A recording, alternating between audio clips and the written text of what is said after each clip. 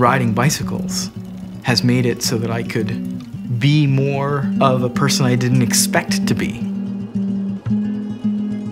Just like riding a bike away from home covers some literal distance, so too a distance away from where you started emotionally and in your own heart.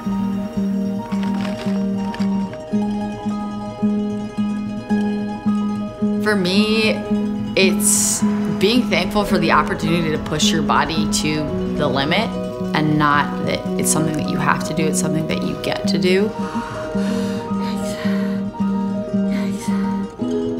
Every moment you think that this can't possibly last, and then when you get there and the view is breathtaking in a different kind of way, it makes every hard and impossible pedal stroke worth it.